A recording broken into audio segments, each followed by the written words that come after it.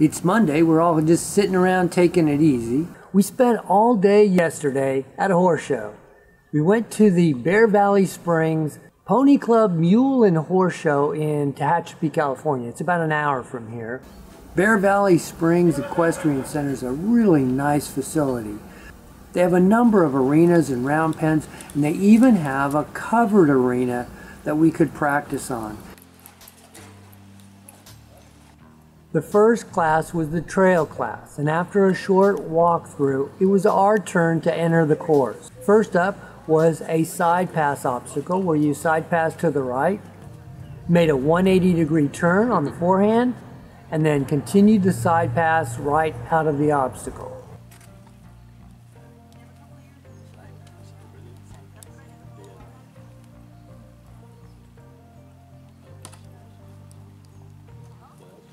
We exited around the oak tree and there was a deadfall obstacle behind that oak tree you can't see. Scratch did pretty good going through that.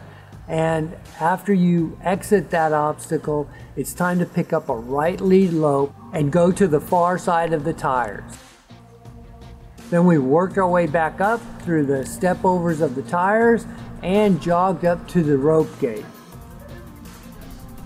Now, this was kind of an unusual rope gate for us. It was the first time we've ever done it in competition, and it was a back through obstacle. So I had to pick up that rope in my left hand, turn, scratch around, come on back through, and then side pass back up to get them to close that gate. But we did that pretty well. And while I was feeling pretty confident walking over to the bridge, even though it was narrow and it wasn't very high, I thought we would negotiate it pretty well. I looked up to see the other end of the bridge. I don't know what he was thinking, but he missed the first step, wanted to go off to the side, and we just kind of blew through that whole obstacle. It was important just to keep on going though. He was swishing his tail a little bit, but we made it through there and off to the next obstacle, which was a back through figure eight.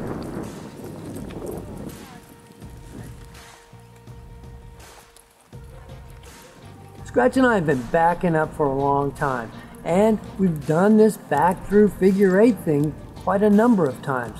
And for some reason this morning, it was a wrestling match from the get go, and we made it around one. I kept on encouraging him. He was gapping his mouth, swishing his tail. We made it around the other side. We got there, and it sure wasn't pretty.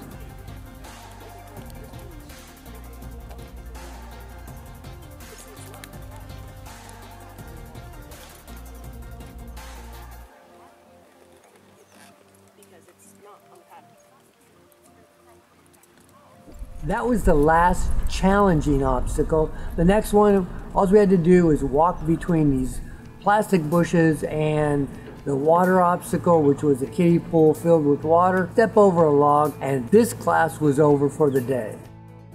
I was really disappointed we didn't make it over the bridge. Perhaps I should have slowed down and guided him more carefully onto the bridge. And I was really disappointed in the back through. That we're to have to work on and get ready before the next time we have to do that. Thanks again for watching. In the meantime, go have some fun with your horses. Bye bye, everybody.